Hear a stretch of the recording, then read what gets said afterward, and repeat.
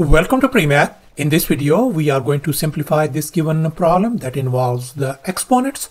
So we are going to simplify this problem 2 power 22 times uh, 3 power 33 and we are not supposed to be using calculators of any kind. Please don't forget to give a thumbs up and subscribe. Let's go ahead and get started and here's our very first step. We are going to focus on these uh, exponents 22 and uh, 33. This uh, 22 could be written as uh, 2 times uh, 11 and likewise 33 exponent could be written as uh, 3 times uh, 11.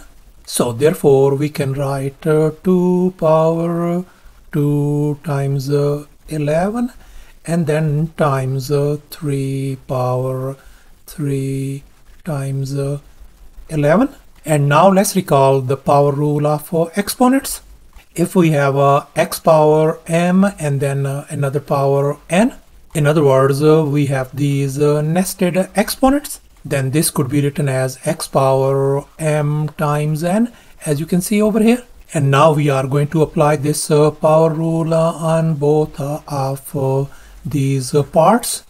Let's focus on this part 2 power 2 times 11 so this could be written as uh, 2 power 2 and then uh, power 11 and now let's focus on this uh, second part. This could be written as uh, 3 power 3 and then uh, power 11 as you can see in this uh, next step.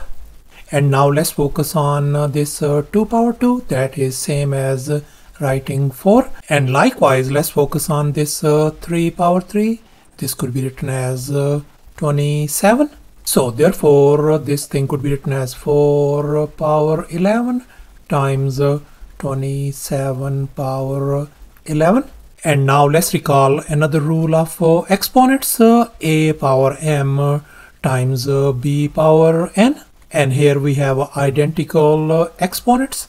Then this whole thing could be written as a times b whole power m and we are going to apply this uh, rule of exponents uh, over here.